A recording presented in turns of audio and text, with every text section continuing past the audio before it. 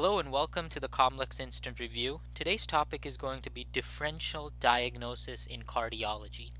Let's start by talking about acute pericarditis and how you differentiate that from cardiac tamponade and constrictive pericarditis. In order to make the diagnosis of acute pericarditis, you have to order an EKG. And the EKG should have diffuse ST segment elevations across multiple leads. So if you look at leads 1, 2, 3, AVF, V1, V2, V3, V4, V5, and V6, right after the QRS complex, you'll see an ST segment elevation with upright T waves. And that's the key sign that you want to look for in EKG, in addition to the obvious clinical presentations of chest pain um, that's typically worse with deep inspiration and patients complain of coughing. Um, on physical exam, you may hear a friction rub, which is a high pitched sound that has several components to it. And the rub is often difficult to hear, but you can hear it uh, with the diaphragm of the stethoscope as the patient actually sits forward at a forced expiration. So, the differential diagnosis for acute pericarditis is um, any inflammatory condition uh, that can inflame the pericardium. Now, another common condition that people confuse acute pericarditis with is constrictive pericarditis. With constrictive pericarditis, you have EKG changes that have low voltage and non-specific signs on the T wave. And also the heart size is normal patients will have you know signs that are similar to constrictive uh, to acute pericarditis on their physical exam. Uh, but in addition to the ones such as chest pain they'll complain of signs such as orthopnea which is a key sign. Patients will also have things like ascites and edema jaundice. So again right-sided heart failure with orthopnea JVD elevation. All these are key signs that this disease is going to be constrictive pericarditis and not acute pericarditis. And therefore, you know, it's difficult to distinguish uh, between any differential which presents with um, similar situation, such as restrictive cardiomyopathy. Restrictive cardiomyopathy also has similar findings to constrictive pericarditis.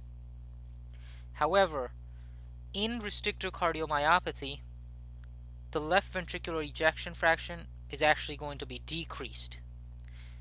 And on the CT, you won't see the thickening of the pericardium. So those two things um, are going to be your key differential to constrictive pericarditis and if the patient comes in with the right-sided heart failure symptoms with JVD elevation, along with uh, signs of orthopnea, then you're going to think about two things constrictive pericarditis or restrictive cardiomyopathy. But restrictive cardiomyopathy, the ejection fraction will be low and the CT will not show a thickening of the pericardium. Now, how do you differentiate cardiac tamponade from pericarditis?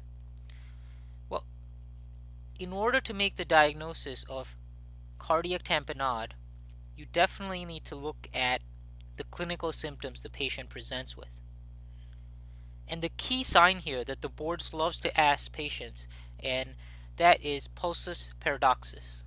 Pulsus paradoxus is considered to be a physical diagnostic sign that you need to pick up in order to make the diagnosis of cardiac tamponade. And its definition is a decrease in the systolic blood pressure of more than 10 mmHg with normal inspiration. And again, the what happens in this condition is that there may or may not be a paradoxical pulse. Um, but again, if that is present, then it should also give you another clue that this is cardiac tamponade. Patients have decreased heart sounds, signs of fatigue, dyspnea, orthopnea, and keep in mind that when you order the echocardiogram and the cardiac catheterization, this will confirm that the left and the right atrial pressures are actually equal. Okay? So another key sign here.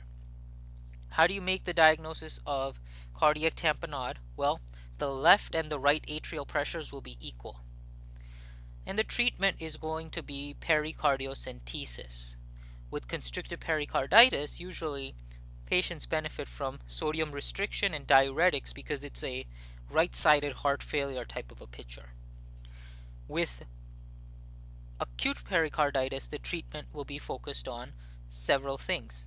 Want to manage the inflammation, okay, and so patients benefit from NSAID therapy.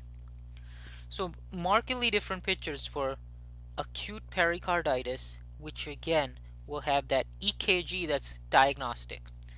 Cardiac tamponade, which will have pulsus paradoxus, and constrictive pericarditis, which has a right heart failure type of uh, symptoms, but the EKG won't show much, uh, and the thickened pericardium will still be there in order to help you differentiate from restrictive cardiomyopathy.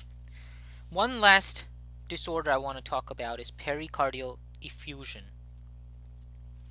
Now, with pericardial effusion, it's basically an accumulation of a lot of fluid in the pleural cavity but what causes it depends on what's in that fluid. So if the patient comes to you and says um, that you know they're complaining of the typical signs of right heart failure or congestive heart failure, and you basically order the echo in order to diagnose it, you see pericardial fluid, and on X-ray you'll see this water bottle sign, um, characteristic of the cardiac silhouette and you decide to actually aspirate the fluid.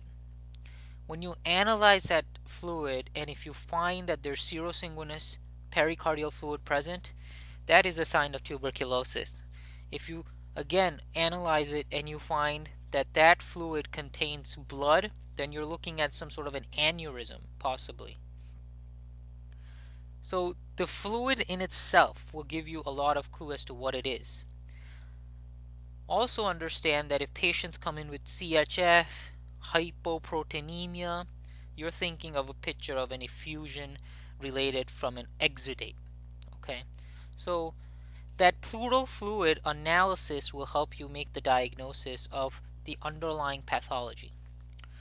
That was a board review of the differential diagnosis in cardiology Please visit comlexflashcards.com for additional board review lectures. That's www.comlexflashcards.com and good luck in your board preparation.